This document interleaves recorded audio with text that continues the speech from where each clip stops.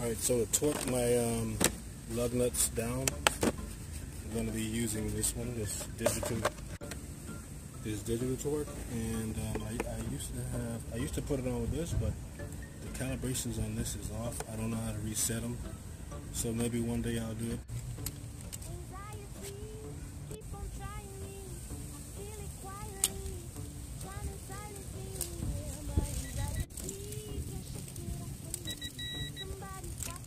Good right there. my anxiety. Let's go.